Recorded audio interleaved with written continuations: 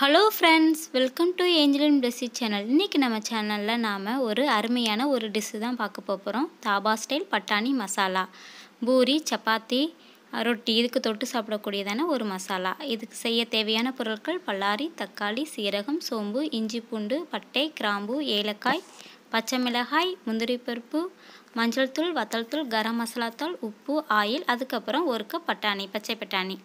இப்போ ஒரு பாத்திரத்தில் எண்ணெய் ஊற்றிக்கலாம் அதோட நறுக்கிய ஒரு பல்லாரி வெங்காயம் ஒரு பச்சை மிளகாய் பத்து முந்திரி பருப்பு. இதை நல்லா வதக்கிக்கலாம். இது நல்லா வதங்கினதுக்கப்புறமா ஒரு ஸ்பூன் இஞ்சி பூண்டு விழுத இதோடு சேர்த்து அதையும் நல்லா வதக்கிக்கலாம்.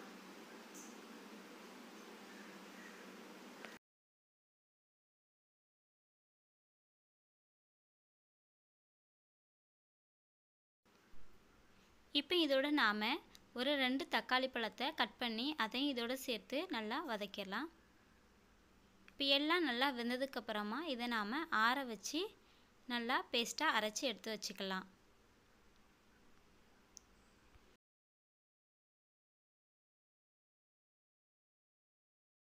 இப்போ இப்போ நம்ம ஒரு பாத்திரத்தில் எண்ணெய் சேர்த்து அதில் ஹாஃப் டேபிள் ஸ்பூன் சீரகம் சோம்பு ரெண்டு ஏலக்காய் ரெண்டு லவங்கம் ஒரு பட்டை.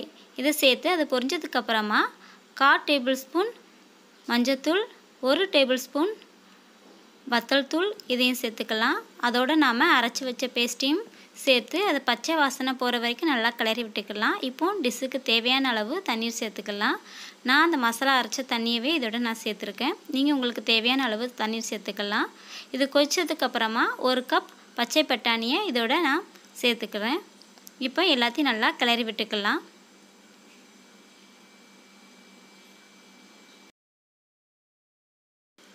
இப்போது இந்த டிஷ்ஷுக்கு தேவையான அளவு உப்பை சேர்த்துக்கலாம். சேர்த்து நல்லா கிளறி விட்டுக்கலாம். அதுக்கப்புறமா அரை டேபிள் ஸ்பூன் கரம் மசாலா தூளையும் இதோடு சேர்த்து நல்லா கிளறி விட்டுக்கலாம்.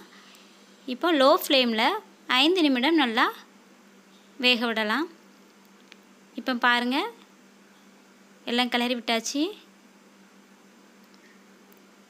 இப்போ சுவையான தாபா பட்டாணி மசாலா தயார்.